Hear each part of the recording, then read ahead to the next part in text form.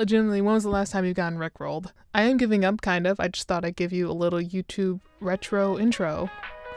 I've been doing YouTube since I was 12 years old. That's almost, oh shit, 17 years. but I'm getting ahead of myself. Let me bring you up to speed. Starting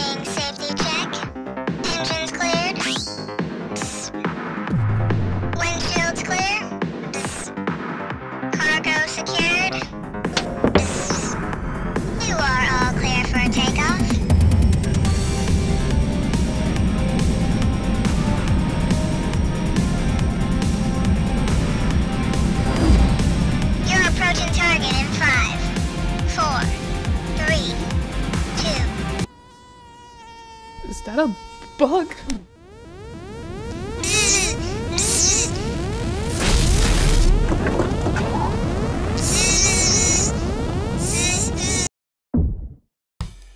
Big small news I was a category winner in Moments. Yes, the Moment Film Festival. And I made a huge deal about it because this feels like the closest win I've had throughout this whole content creator journey.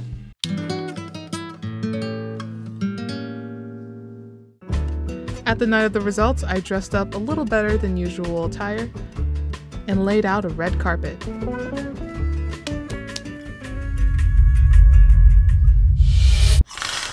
But some part of me feels like I shouldn't celebrate. My gap year is over, and this has been my only win with commercial success. No, no, can't think like that. I really want to try celebrating any wins because I want to give up. Ariel, how are you today? Oh, I'm ready to give up any minute. If I don't place or get accepted to things I've applied to enter to, I'm taking that as a sign that I should give this all up. Being in this fest has given me about three months of motivation. Ooh, should you be doing that? See, I've been rejected a lot, and you'd think I'd be used to that, but no, as I get older, the pressure of getting commercial success is slowly fading my light of motivation. Ah! Oh, oh sorry, I gotta go chat with other people. Uh, it was nice chatting. Thank you so much for stopping to talk to us. What advice do you have for people who are just starting their dreams? Don't. Uh, sure, I've had my ups and downs, to be honest, but creative drive is blocked because I'm always psyching myself out. Do you have anything more motivating to say? Save up money? And Uh, I hope you're stronger than me. Hello, everyone. Please take your seats. The screenings will be I have to get to my seat. It was nice chatting. Sorry, excuse me. Sorry. Ugh. Whew. That's one of the reasons why I stopped uploading weekly. Like I said before, I haven't been doing this for just one year. I've been doing this for 17 years, and I gave it like my all this time around. I think I put so much pressure on myself because I am getting older, and it just feels like I should have I guess a, not a clear path, but like like something that leads to a path. When I get so in my head like that, I go out and interview or bake something that's not about me. And I made these documentary episodes about subway performers. Hey, shh.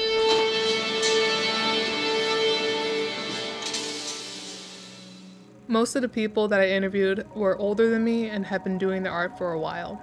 And I saw them find gigs both big and small, but still preferring to perform in the subway because they love to perform there. I saw they did it for themselves. Commercial success was not their end goal. You have to find where your line is in life and how you are gonna shine and be bright for everybody else, but not not necessarily for everybody else, for yourself. It sent me on a journey of self reflection. Am I self sabotaging myself by pressuring commercial success as the be all end all to be truly successful? That's what I've been always taught to strive for. And I know you need money to survive, but if I can just make enough to live by and save up, isn't that enough? Do I have to be the next star? So I literally just ran home. Um, it's the night of the premiere and I'm nervous, and I got all the puppets laid out. Like I said before, I was one of the winners in the film festival. Wait, did I win? Wait, hold on. Oh my god!